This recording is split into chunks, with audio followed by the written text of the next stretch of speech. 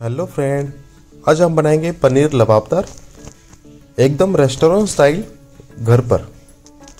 एकदम आसान तरीके से घर में जो चीज़ अवेलेबल होती है।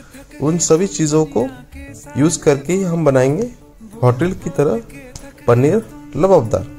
तो चलो वीडियो को स्टार्ट करते हैं। तो सबसे पहले हम कढ़ाई लेंगे। कढ़ाई के अंदर हमने डाल दिया रिफाइंड ऑयल अब डालेंगे कुछ खड़े मसाले। जीरा, अब डालेंगे प्याज। प्याज को हम हल्का सा भुनेंगे, अब डालेंगे हरी मिर्च।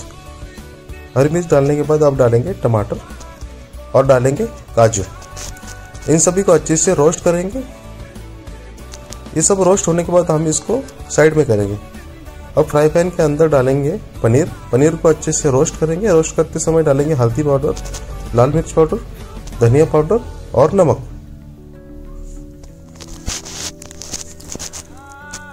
अब कढ़ाई लेंगे, कढ़ाई के अंदर डाल दिया खड़े मसाले।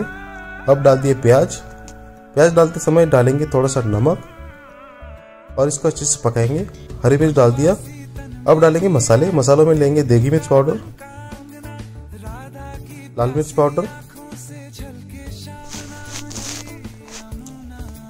और डालेंगे थोड़ा सा हल्दी। हल्दी हल्का सा डालना है। ज़्यादा हल्दी की यूज़ नहीं करना है। अब डालेंगे पनीर मसाला। और अब डालेंगे टमाटर। और जो हमने ग्रेवी पीस के रखा था, वो डाल दिया। मसाले को हम अच्छे से मिला लेंगे। अब इसके अंदर डालेंगे थोड़ा सा फ्रेश अमूल क्रीम और अच्छे अच्छे से पकने देंगे। देख सकते हैं हमारा जो पनीर लबाबदार जो है, बनकर रेडी हो चुका है। तो आप भी इसी तरह पनीर लबाबदार बनाइए। और हमें कमेंट में बताएँ कैसे बना। अगर वीडियो अच्छी लगी हो तो चैनल को लाइक शेयर और सब्सक्राइब ज़रूर करें। मिलते नेक्स्ट वीडियो में।